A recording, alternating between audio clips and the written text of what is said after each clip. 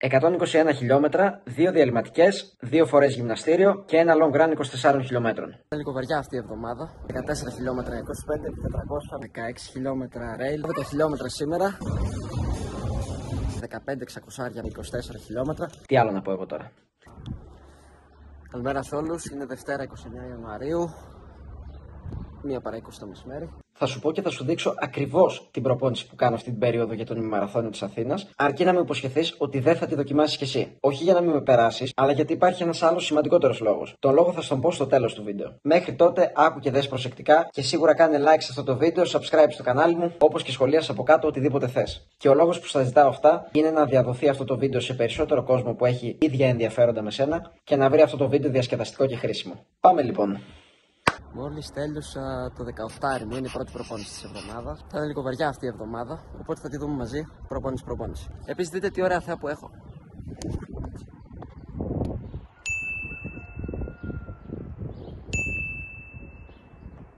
Τα 18 χιλιόμετρα είναι μια ok απόσταση για μένα, την οποία μπορώ να κάνω καθημερινά. Όπως και ο ρυθμός στα 4 λεπτά και 28 δευτερόλεπτα το χιλιόμετρο είναι τόσο όσο. Δεν χρειάζεται να πιέζεις κάθε τρέξιμό σου, ίσα ίσα άμα το πιέζεις, θα έχεις τα ακριβώς αντίθετα αποτελέσματα. Την προπόνηση την έκανα με τα Socony Triumph 21.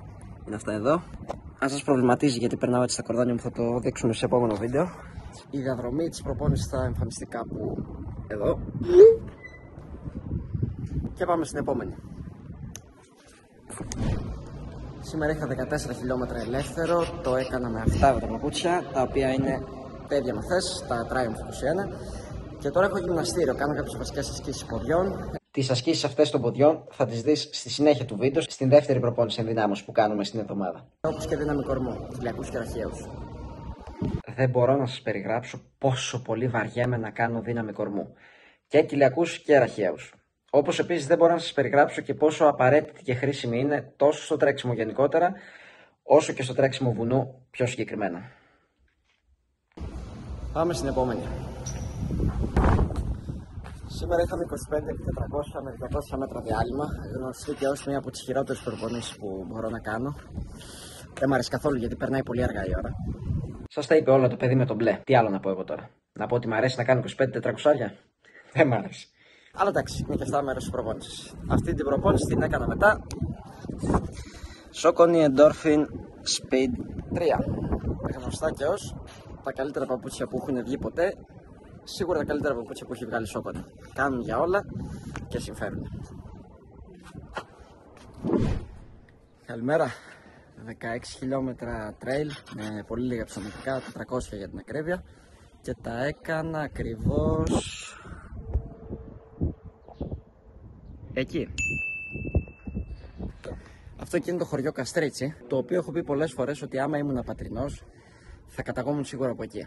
Οι τρέλοι προπονήσεις ή οι προπονήσεις σε βουνό βοηθάνε αρκετά να μην βαριέμαι να τρέχω. Γιατί κακά τα ψέματα, όταν τρέχω πολύ στην ευθεία μου λείπει το βουνό και όταν τρέχω πολύ στο βουνό μου λείπει η ευθεία. Οπότε το κρατάμε λίγο ισορροπημένο. Τη σημερινή προπόνηση την έκανα με τα Xondus Ultra 2, τα οποία είναι αυτά εδώ.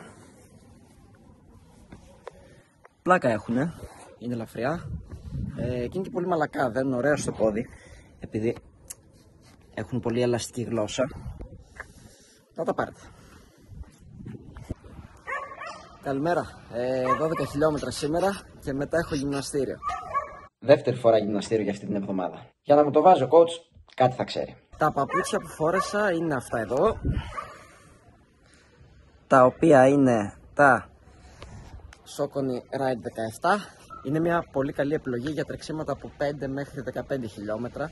Δηλαδή γεφυρώνουν ας πούμε το χάσμα μεταξύ long run και easy run. Και έχουν και σχετικά καλή τιμή σε σχέση με τα υπόλοιπα μοντέλα της Socony τα οποία είναι λίγο τσιμπημένα αλλά εντάξει ό,τι πληρώσεις θα πάρεις. Και αυτά καλά. Να τα πάρετε.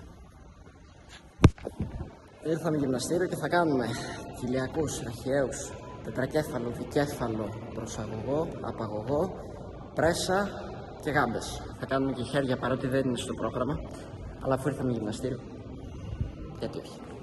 Σε αυτό το σημείο να ξαναπούμε πόσο σημαντική είναι η δύναμη κορμού στο τρέξιμο, μιας και ο κορμός είναι ουσιαστικά αυτός που μας κρατά όρθιου την ώρα που τρέχουμε και με αυτόν τον τρόπο βοηθάμε την τεχνική του τρεξίματός μας να παραμένει όπως πρέπει, δηλαδή οικονομική, βολική, άνετη και ξεκούραστη. Ειδικά οι ραχιαίοι, για όποιους τρέχουν βουνό, έχουν αρκετά μεγάλη επίδραση και συγκεκριμένα στην ανηφόρα, σίγουρα πολλοί θα έχετε παρατηρήσει ότι από τους πρώτους μύε οι οποίοι κουράζονται είναι οι ραχιαίοι μαζί με τους μύε των ποδιών.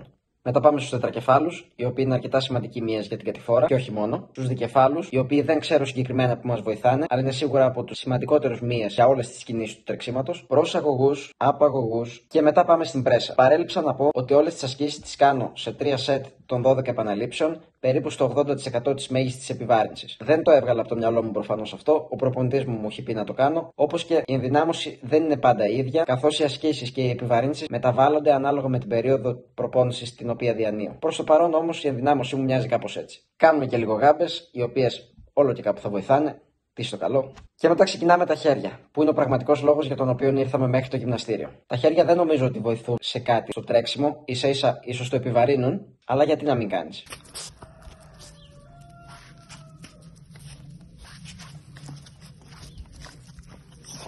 Καλημέρα, είναι Σάββατο 3 Φεβρουαρίου και ήρθα σπίτι μου στην Ελασσόνα δεν είμαι από την Πάτρα, αν κάποιος με νομίζει για πατρινό. Η θεσσαλική προφορά είναι ξεκάθαρη πάνω μου. Είμαι από την Ελασσόνα Λάρισας. Η Ελασσόνα, για όποιον δεν την ξέρει, βρίσκεται στη δυτική πλευρά του Ολύμπου και απέχει μόλις 20 λεπτά από το χωριό Κόκκινο Πυλός, στο οποίο γίνεται και ο αγώνας Python Sky Race. Ένας πολύ ωραίος αγώνας και πολύ δύσκολος. Στην Ελασσόνα δεν έχουμε ταρτάν, ή μάλλον έχουμε ένα στίβο 200 μέτρων με ταρτάν, ο οποίος δεν μπορεί να χρησιμοποιηθεί για τις δικές μου προπονήσεις. Είναι κυρίως για τη χρήση του σχολείου, το οποίο στεγάζεται το γήπεδο. Οπότε την προπόνηση αυτή την έκανα στην άσφαλ. Όπως έκανα και όλες μου τις προπονήσεις από 16 χρονών που ξεκίνησα να τρέχω μέχρι τα 19 που έφυγα από την Ελασσόνα. Και δεν έχω πάθει τίποτα. Οπότε μην τρομάζετε τόσο πολύ με την άσφαλτο. Εκτός αν εγώ ήμουν τυχερός που δεν είχα κανένα θέμα. Πάμε στο πιστό. Είχα 15 600 με 200 μέτρα διάλειμμα, τα 600 από 1,56 μέχρι 2 λεπτά. Το τελευταίο το πήγα στο 1,50. Ήταν αρκετά κουραστική προπόνηση, σίγουρα η πιο κουραστική προπόνηση της εβδομάδας. Αλλά εντάξει, έτσι είναι η προπόνηση. Την έκανα μετά. Σόκονη Κιμβάρα Pro και το περίεργο σε αυτά είναι το εξής. Μπορεί να πάνε εξίσου καλά και στα αργά τρεξίματα και στα γρήγορα. Οπότε από τη στιγμή που ήρθα με αποσκευές εδώ σπίτι μου, δεν είχα χώρο να πάρω 15 ζευγάρια παπούτσια. Έπρεπε να πάρω ένα που να είναι καλό και για τα αργά και για τα γρήγορα. Και αυτό το παπούτσι είναι ένα πολύ καλό παπούτσι για αυτές τις περιπτώσεις. Τα λέμε αύριο στο Long Run. Καλημέρα και καλή Κυριακή. Σήμερα είχαμε long run, 24 ε, χιλιόμετρα. Τα πρώτα 20 ελεύθερα, γύρω στο 4.40 με 4.30 και τα τελευταία 4 χιλιόμετρα στο 3.45. Τα έκανα και αυτά με τα Kimvara Pro, τα οποία φόρησα χθες, επειδή, όπως είπαμε, είναι καλά και για χαλαρούς ρυθμούς, αλλά και για λίγο πιο έντονους. Όταν δεν μπορείς να έχεις μαζί σου 15 ζευγάρια παπούτσια. Αυτή ήταν η εβδομάδα μου, δεν είχε κάτι το ακραίο.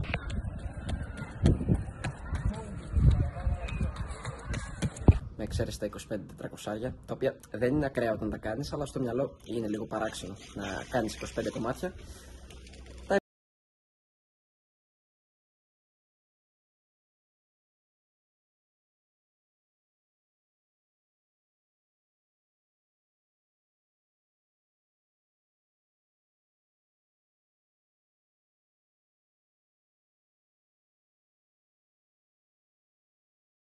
Όλες τις υπόλοιπες προπονήσεις που έχουν προηγηθεί τα τελευταία 9 χρόνια που προπονούμαστε, έχει κατά νου τους επόμενους μου αγώνες καθώς και τους προηγούμενους, ξέρει ανα πάσα στιγμή αν νιώθω ξεκούραστο ή κουρασμένος, όπως επίσης παρεμβάλλονται και εκατοντάδες ακόμη παράγοντες από τους πιο απλούς μέχρι και τους πιο σύνθετους. Κάποιες προπονήσεις δουλεύουν καλύτερα πάνω σε μένα, οι ίδιες προπονήσεις σε κάποιον με διαφορετικό υπόβαθρο, ο οποίος ας πούμε είναι πιο γρήγορος, μπορεί να λειτουργούν διαφορετικά, καταστροφικά ας πούμε. Ξεκίνησα να τρέχω μεγάλος στα 16 και όχι στα 10, 11, 12 που ξεκινάνε οι περισσότεροι, συνεπώς δεν έχω το υπόβαθρο της ταχύτητας στο οποίο θα ήθελα να έχω. Τι κάνουμε από εκεί και πέρα, όσο και να χτυπιέμαι, δεν θα κάνω ποτέ κάτω από 50 δευτερόλεπτα 400. Είναι δεδομένο. Αυτό το λαμβάνουμε υπόψη και στρώνουμε την προπόνηση κατάλληλα με βάση τον όποιο στόχο έχουμε και συντάσσουμε το πρόγραμμα κάθε εβδομάδα. Κάθε Κυριακή βράδυ μου έρχεται ένα μήνυμα με την προπόνηση της εβδομάδας και ο coach μου περιμένει να του πω αν μπορώ να την κάνω από άποψη χρόνου, αν νιώθω καλά για να την κάνω σωματικά, όπως και οτιδήποτε άλλο μπορεί να επηρεάσει την προπόνηση μην βλέπεις την προπόνηση των άλλων και μην προσπαθείς να την αντιγράψεις. Κανείς δεν είναι εσύ, όσο κλεισέ και να ακούγεται, όπως και κανενός στο σώμα δεν είναι ίδιο με του διπλανού. Εγώ στην παρούσα φάση μπορώ να αντέξω 120 χιλιόμετρα την εβδομάδα. Δεν μπορώ να αντέξω όμως περισσότερα. Δεν σημαίνει ότι δεν μπορείς εσύ να κάνεις περισσότερα, όπως και δεν σημαίνει ότι απαραίτητα χρειάζεται να κάνεις περισσότερα. Ο Φώτης ο Ζησιμόπουλος δημοσιεύει καθημερινά στο Στράβα την προπόνησή του. Αν σου έλεγα να πας και να δοκιμάσεις τη δική του προπόνηση, θα το έκανες; Με 205 χιλιόμετρα την εβδομάδα και 150.000 μέτρα υψομετρικής; Δεν νομίζω. Την ίδια λογική έχει να δοκιμάσει και τη δική μου προπόνηση. Είναι πολύ σημαντικό να έχεις έναν προπονητή που ξέρει ακριβώς τι σου βάζει, γιατί στο βάζει και με ποιο στόχο το βάζει. Φυσικά περιμένω τις ερωτήσεις σας, τι σας άρεσε, τι δεν σας άρεσε σε αυτό το βίντεο. Όπως και αν είστε καινούργοι εδώ πέρα, αρχικά να σας ευχαριστήσω που είδατε αυτό το βίντεο μέχρι το τέλος και να σας ζητήσω να κάνετε ένα like, subscribe στο κανάλι μου και να σχολιάσετε τι άλλο θα θέλατε να δείτε. Μέχρι το επόμενο βίντεο να περνάτε όλοι καλά και να κάνετε την προπόνηση που σας αρέσει να κάνετε. Χαιρετώ!